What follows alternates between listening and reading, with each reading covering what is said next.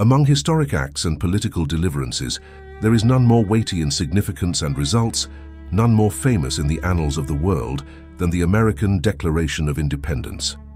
The document which preserves it to all ages is a witness to the world that freedom resting not on institutions but on the necessities of human nature is no mere abstract idea but a vital principle of national life.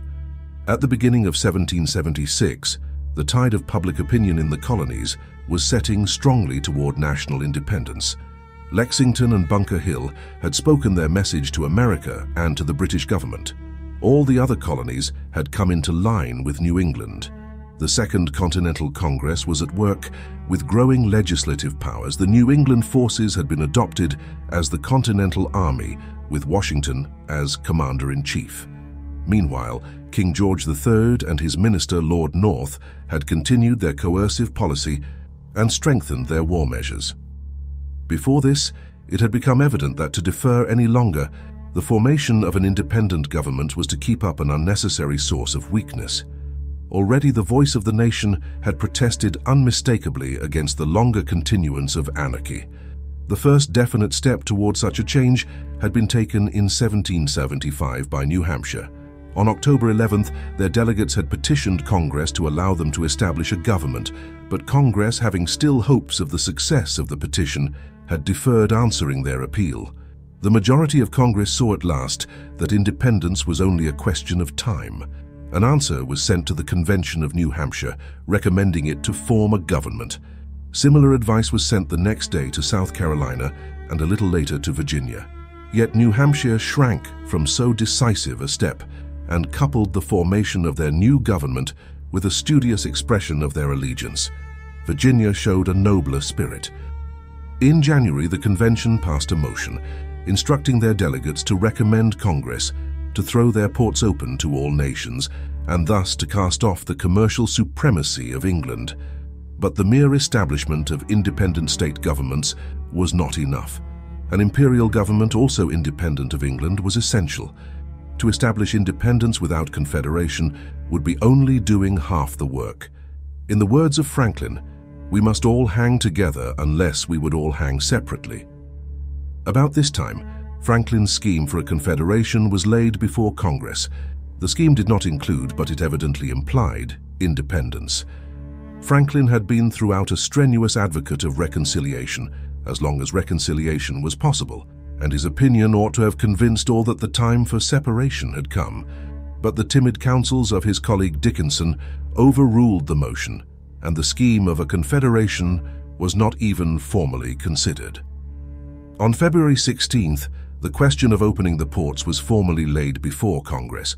In the next month, measures were taken which clearly showed that independence was at hand. A private agent was sent to France by the authority of the Committee of Secret Correspondence, and the instructions of the commissioners sent to Canada contained a clause inviting the people of Canada to set up such a form of government as will be most likely in their judgment to produce their happiness. The clause was objected to as implying independence and gave rise to a debate, but was ultimately carried. At last, after seven weeks' deliberation, the Congress resolved to emancipate the colonies from all commercial restrictions, and on April 6th, the ports of America were thrown open to the world. On March 27th, South Carolina proceeded to construct a government. They asserted as their principle of action that the good of the people is the origin and end of all government, and they set forth the misconduct of the king, the parliament, and the officers of the English government. At the same time, they introduced no change into the system of representation or the qualification of voters. On May 4th, the Assembly of Rhode Island passed an act discharging the inhabitants of the colony from allegiance to the king and at the same time authorized its delegates in Congress to conclude a treaty with any independent power for the security of the colonies. On May 6th, the Assembly of Virginia met at Williamsburg, after a declaration that all Pacific measures were useless and that they had no alternative left but an abject submission to the will of those overbearing tyrants or a total separation from the Crown and government of Great Britain. They passed two resolutions, the first empowering their delegates at the convention to propose a declaration of independence and a confederation of the colonies. the second appointing a committee to draw up a declaration of rights and a scheme of government for the colony. On June 12th, the Declaration of Rights was laid before the Assembly, and on the 29th, a constitution was produced. The Assembly then proceeded to elect a governor. The choice fell on Patrick Henry. Rightly was he who had first foreseen independence and bidden his countrymen look the danger of it in the face, deemed worthy to be the first to govern the state which he had called into being. All the colonies except Pennsylvania and Maryland followed the example of Virginia, and when, on July the 1st, the motion for independence was laid before the Congress, the delegates of nine colonies were pledged to vote in its favor. The delegates of Pennsylvania and Maryland were divided. Those of South Carolina unanimously opposed independence.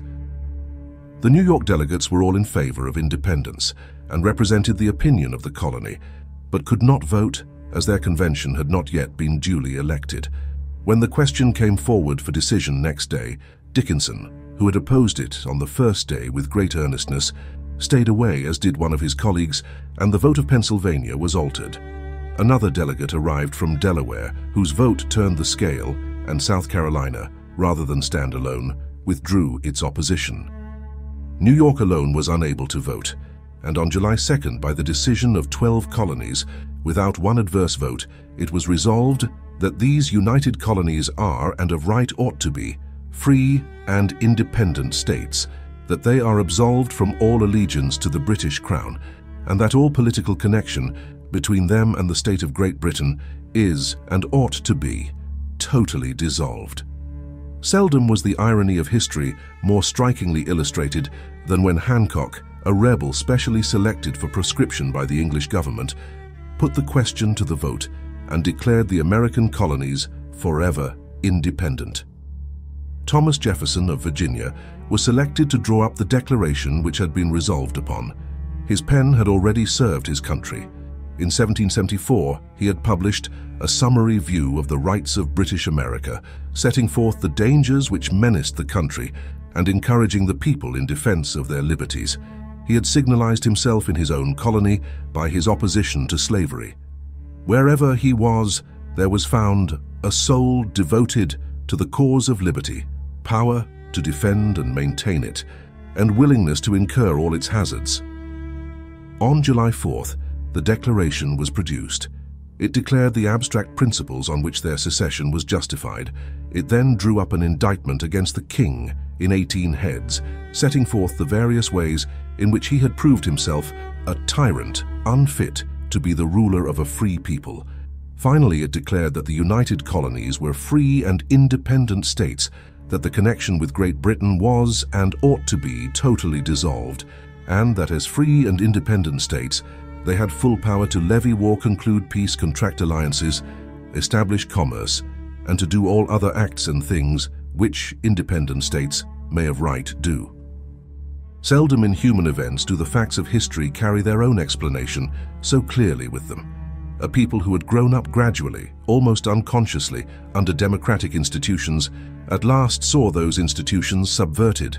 To preserve the spirit of them, they changed their form. We must not be misled into the error of underrating the importance of the American struggle by any idea of the insignificance of the issue at stake. We must not suppose that it was, as an earnest and eloquent writer has called it, a war for the vindication of the principle of representative taxation. Its immediate origin, it is true, involved no vital interest, such as often has been at stake when nations have risen against their rulers. But rebellions may fall out on small occasions. They do not spring from small causes, was said by the first and wisest of political philosophers.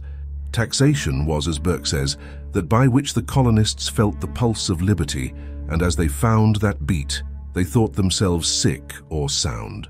The whole key to the American Revolution lies in two facts. It was a democratic and a conservative revolution.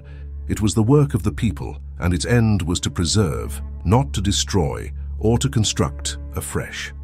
The policy of an early father of New England, in a revolution burn all and build afresh was far from being that of his descendants. Throughout the whole War of Independence, the colonists had a fixed known end in view. More than that, they had already within themselves the means for effecting that end and making it enduring as far as what is human, can endure. The future that they proposed to themselves was not independent of their past. It was a fuller development of it. There was no need for beginning with the year one, or for throwing aside as worn out anything that their ancestors had left them, and it was essentially a democratic revolution. Throughout, the movement came from the people. The very blunders made by the hesitation and timidity of Congress were the mistakes of an assembly of delegates, not of representative statesmen. When the final step was taken, the Congress was not the originator of it, but was little more than a mouthpiece, giving expression to the declared wishes of the nation.